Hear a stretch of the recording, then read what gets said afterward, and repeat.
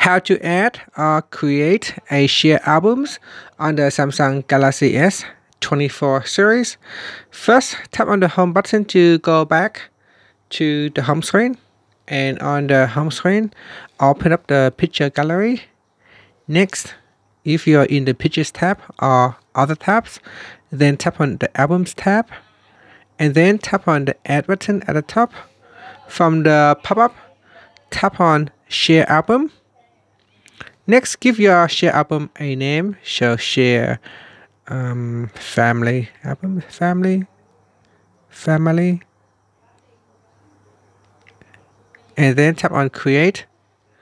And in here it says choose contacts or add Samsung accounts or you can choose share link. So I choose a contact here. So go down the list and select the contacts that you want to share. Then tap on the invite button. Okay, so once you have create created the albums, so uh, at the moment we are waiting for the album to create. So here it is, it has created already.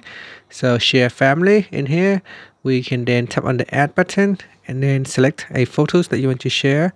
I'm just going to select two photos, then tap on done. Now when you tap on the add button and add the pictures and photos, what happens is that the photos need to be uploaded to the cloud and from the cloud it then shared to other people within the group.